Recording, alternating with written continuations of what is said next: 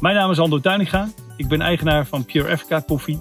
En Seven Stars drinkt onze koffie al een paar jaar op kantoor. Eigenlijk vanaf het begin dat Pure Africa begonnen is. En dat vind ik echt super gaaf. En uh, daarom vond ik het echt de moeite waard om uh, jullie iets te vertellen over ons werk in de binnenlanden van Rwanda. Ik ben op dit moment in Rwanda en uh, ik ben bij Felicien op bezoek. Hij is een van de koffieboeren waar wij koffie kopen. En nou, wij kopen niet alleen die koffie voor een betere prijs, maar investeren ook in microkredieten. Van elke kilo die we verkopen in Nederland gaat er 1 euro in ons Microkredieten Foundation. En daarmee investeren wij hier in de binnenlanden voor boeren die normaal eigenlijk niet leningen kunnen kopen. Wij verstrekken tegen 6% rente in plaats van de gebruikelijke 25 tot 40%.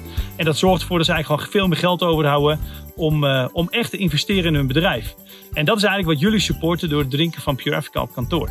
Dus uh, jullie missie is volgens mij en jullie slogan is We Make It Spark. En I think uh, we make it spark together. Want jullie doen het niet alleen in Nederland, maar ook hier in de binnenlanden van Rwanda. Door onze koffie te drinken kunnen wij onze impact maken. En uh, echt veel betekenen voor die boeren die het hier hard kunnen gebruiken.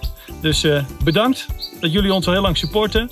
Ik ben er echt trots op. En ik hoop dat we nog vele jaren samenwerken.